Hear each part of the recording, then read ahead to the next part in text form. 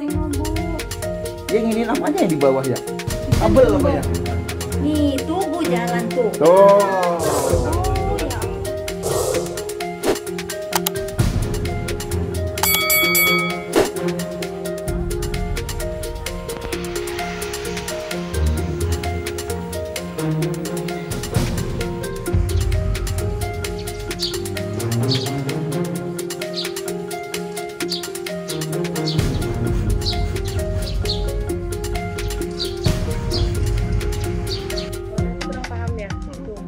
Dari cerita mama saya sih sekitar jam 10 itu abis pulang beli galon.